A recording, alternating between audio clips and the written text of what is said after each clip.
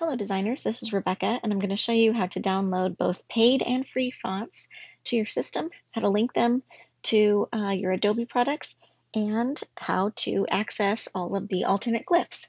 So um, I just like to start in one of the Adobe programs. This is Illustrator and I typed out the word new font with uh, my type tool. So as long as you drop type, you'll be able to see a preview of it when you change it in your characters panel. So this is the character section of the properties panel right now. So to change the font or to download a new font, uh, you can just hit the little caret to extend this drop down menu in the characters panel. And you can type in the name of a font that you already have, or if you'd like to find more, you can click on this Find More button and then search for, uh, you would filter it out as to what type of font you'd like to access, and then you get a small preview of it uh, in the window, and it's not really my favorite way of finding new fonts from Adobe. So let me show you what I do first. I go to a browser window and I type in fonts.adobe.com.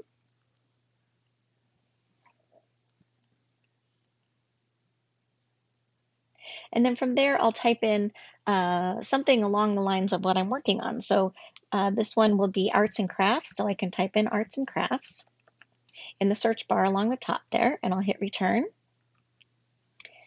And then there is actually a font called P22 Arts and Crafts. So I'm going to dig into that in just a second. Another place that's really fun to look for fonts are in these font packs here because you can discover really cool new things. So I'll click on font packs to show you how that works.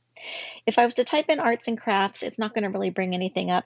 Um, I could type in something like vintage design or you know anything along those lines there and hit return and then hit click on font, font packs either up here in this top menu or in these buttons down here. So font packs are collections of fonts that are created by professional graphic designers or font foundries. And if I was to click into one, it shows us a preview along the top here with uh, a quick little button to get to a font that you might like. If you see images in the back that look like this, you can actually sometimes download Adobe stock templates of these different little projects back here to work with, which is pretty fun. But if I scroll down a little bit further, then I'll get a longer um, uh, preview of the fonts individually. You can also change the sample text of what you'd like to see in this preview. So you can choose the whole uh, capitalized alphabet, the additional glyphs and symbols, or you can choose different sentences, or you can even write in what you'd like. So if you're working on a logo, it's a great idea to type in the company's name right here to see how it'll look and then if you see one that you like, you can click into it. You can click View Family, and then it will take you to see the entire family. Sometimes the family is going to have just a couple options here. Sometimes it might have 22 or more. Um, so if you like the whole family, you can click the button in the top right corner to add the whole family, or you can click the individual uh, buttons right here. So mine say remove because I've already added this family to my library. So let's go back to that arts and crafts um, font. And one more. Maybe not one more. Let's see. Great, there it is.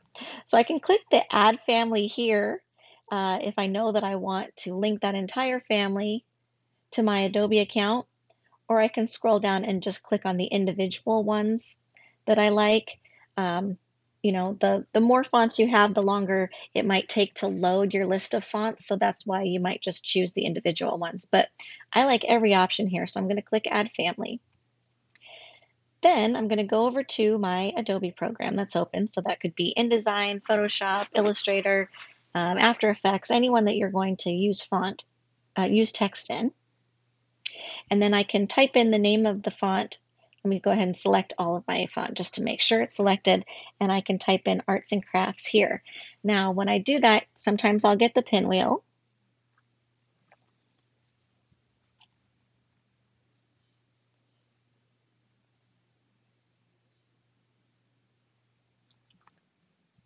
But it goes away in about a minute. So then I'll try it again.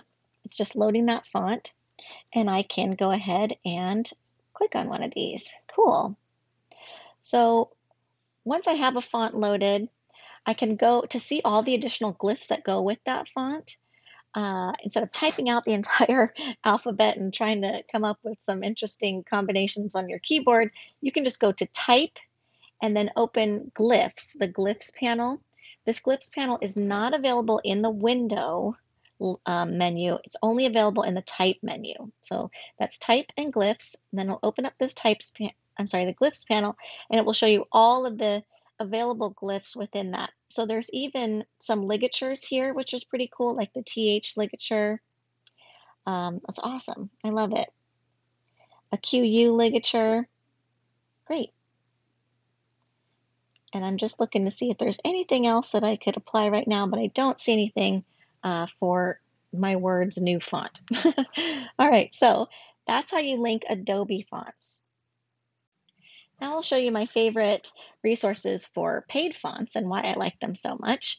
Um, my favorite one is Envato Elements because I feel like these font packs are, like these typefaces, are the most sophisticated and they tend to have a lot of ligatures and a lot of alternate letters, which I really like, uh, especially if I'm paying for fonts. So you just log in and you download your file, and then um, I'll show you how to add that file on a Mac. So I like to use FontBook, and then I will go to my downloads folder. Most of the time when you download a font, it's going to be a zipped file, so you'll just unload the zip, un, um, uh, double click to unlock the zipped file, and then you'll get your folder there. So I'm gonna go ahead and load up this Bound Hero font, and you just grab the folder and drop it right into FontBook. So sometimes it might be a font by itself, that is um, just like an OTF file or a TTF file, and that's totally fine. I got a little error message that said it didn't quite install, so I just tried to reinstall it again by just dropping it back in there, and then I'll click this replace button, and it'll show me that it has installed um, successfully. Takes a little minute with the pinwheel. And then uh, sometimes I will just click this little search um, uh, icon at the top there, and I'll type in the name of the font and click on it and I can click on it here and I can scroll through and look at the different glyphs available right here or like I showed you before you can just do that um, in the glyphs panel in, in Illustrator. So I can go ahead and leave font book and go back into Illustrator. And then with my font chosen, I can type in my new font name here and check it out. So Bound Hero does have some alternate letters, which is really cool. Um, that's shown in the glyphs panel. And to see them, you just highlight individual letters here, and then you'll get a little pop-up of the alternate version. And you can just click on that little pop-up and change it. And then if it's only one option, um, the one that you had before will show now in the little preview at the bottom. So you can pick which one you like best, and you can go through and see what else there is. Really cool. So that's pretty fun. This one just has a few, but some of them have a ton that will have like a really cool swash on there um, or, you know, other things like that. Great. So the free um, sites that I like are first I check with my Adobe um, fonts, definitely, because that's already included in my subscription. But I really like uh, Font Squirrel is a really fun site.